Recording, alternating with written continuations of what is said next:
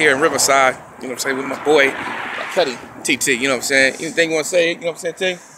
I'm gonna tell them the real story about the shit that went down last night. bro. Man, Look, these bitch ass niggas think cause we from Bakersfield we ain't gonna do what the fuck we supposed to do. You know what I mean? I won't give a fuck where we at or where we from, nigga. Nigga, we from Bakersfield, California, nigga, real west side niggas. So everywhere we go, nigga, we gonna let it be known, nigga. So tell that story. Excuse the gang. It's easy game, baby.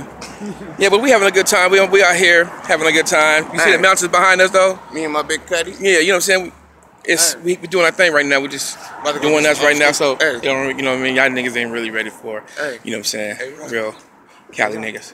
What we about to do? No, I don't know. How y'all doing? Y'all from y'all from here? You're not? Wanna give a shout out? The, the